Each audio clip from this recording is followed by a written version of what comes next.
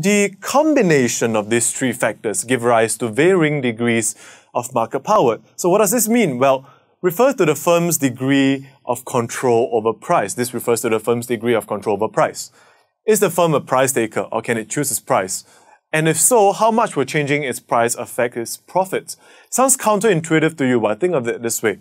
If you're in a perfectly competitive market, you're just a small firm. You cannot set your own price. If you set your own price above the market price, people will just go to everyone else to buy their goods. And since you sell the good, uh, same goods everyone else, uh, and there's so many of everyone else, you won't get anything. There's so many substitutes. So you won't want to set your price below the market price either. Why would you want to? You know, you can earn it at the market price.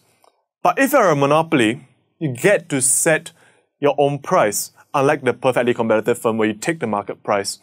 So uh, this isn't, because there isn't this a market dictating you. So market power refers to the amount of power you have over prices.